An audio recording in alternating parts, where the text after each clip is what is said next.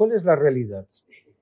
La realidad es que Sánchez ha conseguido convertir el Congreso de los Diputados en un apéndice de la Moncloa.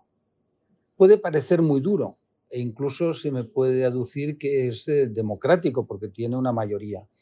Yo no me refiero a la mayoría, que evidentemente la tiene y está en su derecho, faltaría más. Es decir, los gobiernos es bueno que tengan estabilidad, aunque a mí no me guste, gusten los aliados, tanto el socio de coalición como los poco recomendables aliados parlamentarios que tiene, es decir, los independentistas, los filoetarras, aunque le moleste la presidenta del Congreso y a su escudero, el vicepresidente Celis. Los filoetarras, insisto, los independentistas y los antisistema.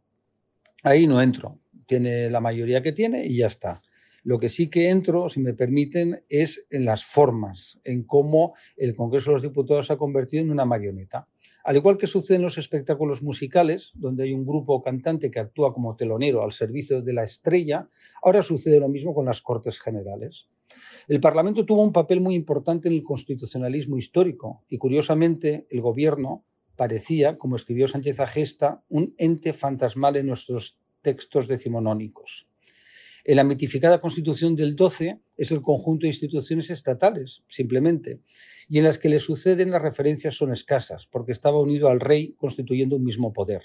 En el caso de la Constitución de la Segunda República encontramos una referencia clara a ese poder ejecutivo en la Presidencia de la República y en el presidente del Consejo de Ministros, delimitando claramente sus funciones.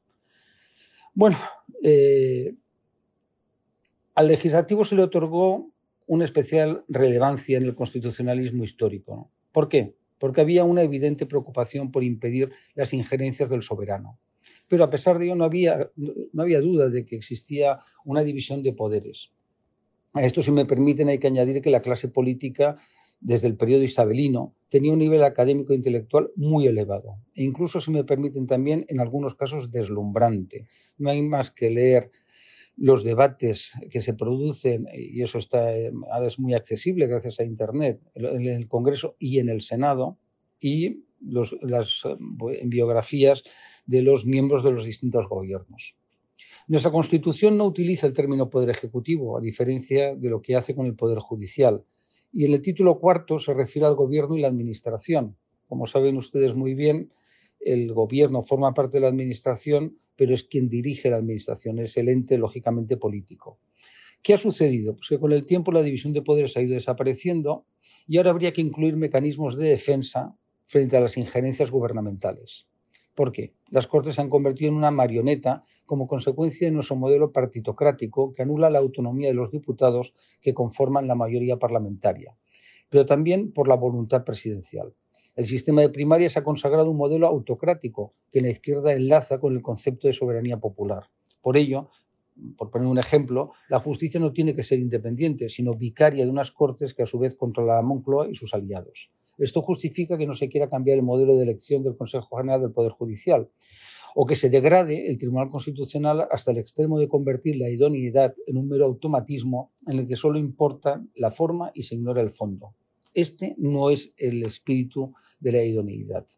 Es lo que sucedió con Dolores Delgado cuando la colocaron de fiscal general del Estado, habiendo sido previamente diputada socialista y, ministra de Justicia.